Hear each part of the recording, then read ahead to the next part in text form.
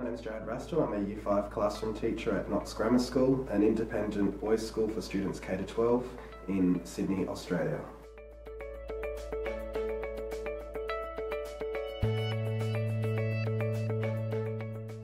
As teachers of the 21st century, it is our professional and ethical responsibility to prepare our students for a successful future. In order for them to thrive in a rapidly changing world, we need to instill skills and competencies that can be applied across numerous domains. Through a unit titled Sustainable Solutions, students developed a sense of agency by recognising the impact we all have on the Earth's environment.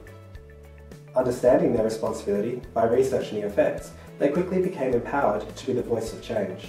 Several students have family farms and appreciate the dire effects of depletion of the Earth's natural resources, whilst others developed empathy through discussion and investigation.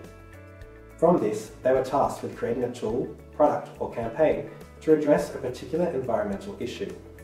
They then promoted this through a video, infographic and website which was shared with the wider community in the form of an expo. It's through engaging activities like these that we promote skills and competencies. As teachers, we are growing the change agents of our future.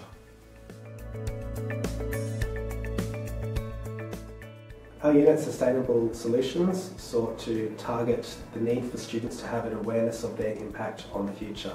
Therefore, specifically, we were looking at students as agents of change.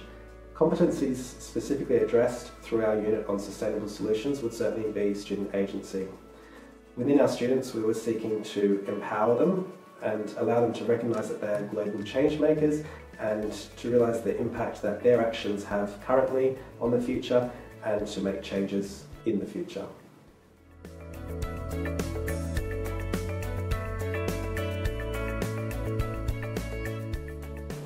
I think there should be more projects like War on Waste because it prepares us for the decisions we will have to make in the future.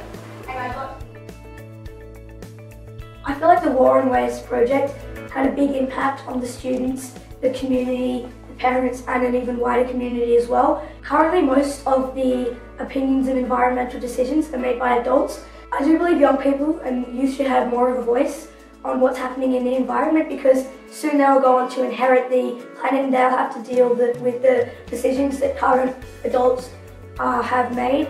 It's really important to me that students have a voice because we are the ones who are going to be making the decisions in the future. The purpose of our education should be to prepare us and give us the skills and motivations for the decisions we will have to make in the future.